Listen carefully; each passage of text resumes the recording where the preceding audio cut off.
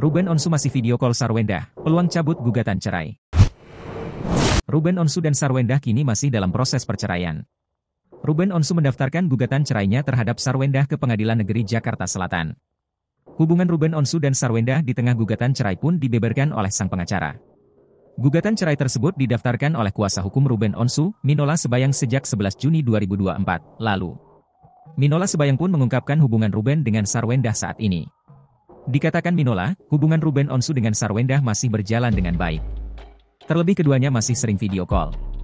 Tadi udah ngomong tuh masih sering video call, masih baguslah ya, ungkap Minola, dikutip dari YouTube Intense Investigasi, Rabu, 19 Juni 2024. Minola Sebayang belum bisa berbicara banyak soal perceraian kliennya dengan Sarwendah.